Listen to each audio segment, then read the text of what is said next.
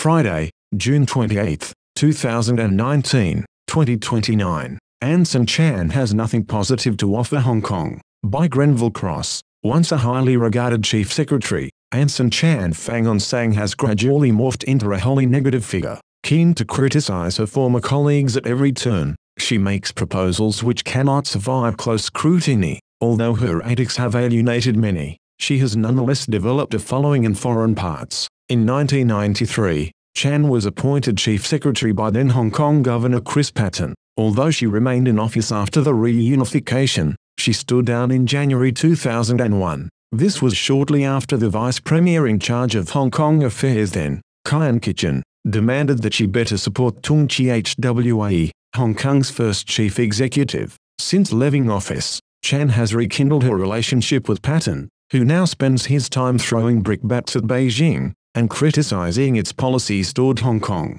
On her regular trips to the United States, Chan leverages on her former status, and also badmouths Hong Kong and its government whenever possible. Although this plays well in some quarters, the involvement of foreign powers in Hong Kong affairs poses a direct threat to the one country, two systems paradigm, which should concern everyone. Her criticisms, however, have been music to the ears of the China bashers in Washington and her efforts won their appreciation. In 2018, for example, Chan was awarded the O'Connor Justice Prize in Phoenix, Arizona. She then used her acceptance speech to disparage Hong Kong's legal system, and even told her audience that politically motivated groups were trying to put pressure on and intimidate judges. Although this was pure fantasy, unsupported by evidence, it was exactly what the assembled xenophobes wanted to hear. Not surprisingly, therefore, Chan failed to inform her listeners that Hong Kong's highly regarded Chief Justice, Geoffrey Ma Tao-li, had only recently said that,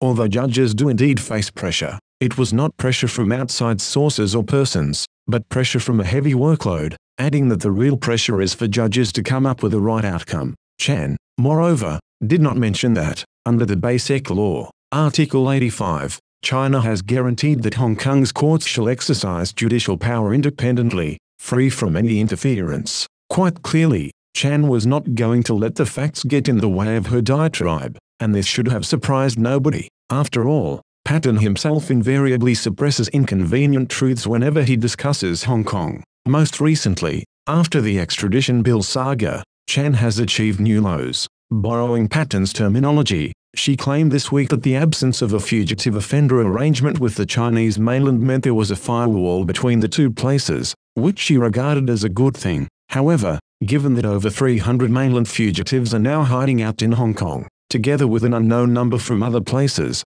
this situation ought more accurately to be described as a criminal's charter. The notion that criminals can commit serious offences elsewhere in China, and then claim safe haven in Hong Kong, is obnoxious to anyone who cares about effective criminal justice, and a betrayal of Hong Kong's legal responsibilities to other places. After armed rioters attacked the police lines in an attempt to storm the Legislative Council building on June 12, Chan's response, moreover, has been to call for a commission of inquiry. There is, of course, no equivalence between rioters bent on aggression and police officers trying to maintain law and order, and this is pure mischief making. As they defended our legislature, the officers faced rioters armed with sharpened metal rods, bricks and improvised weapons, yet Chan has yet to thank them for putting their lives on the line for us all. Instead, her allies, in accordance with a predetermined strategy, have systematically sought to besmirch the good name of the police force, both locally and elsewhere. Chan's call for an inquiry,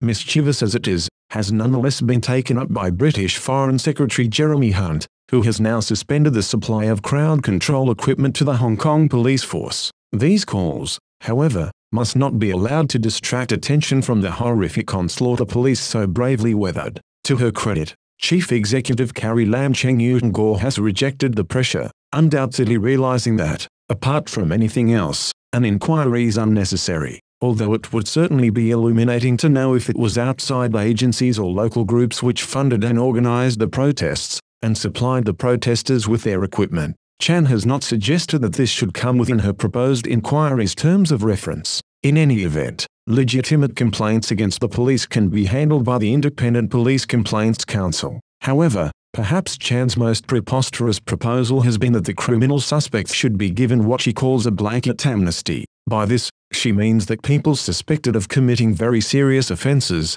including riot unwounding police officers with intent to cause serious bodily harm, should be allowed to go scot-free. However, apart from pardons for convicted persons, our law makes no provision for blanket amnesties for criminal suspects, so her proposal is just another chimera, designed to pander to her base. That apart, her suggestion is an insult to the police officers injured by the rioters, as well as a threat to our criminal justice system, which must never be subverted for political reasons. After all, nobody is above the law, even if they have apologists like Chan batting for them. The prosecution process should be allowed to take its course, free of any improper interference. We must, therefore, all be grateful to Secretary for Justice Teresa Cheng Yeuk-wah, who has made it clear that she will tolerate no interference in prosecution matters, and that all cases will be handled professionally, in accordance with established prosecution policy. In other words, particular individuals will not be given any special treatment,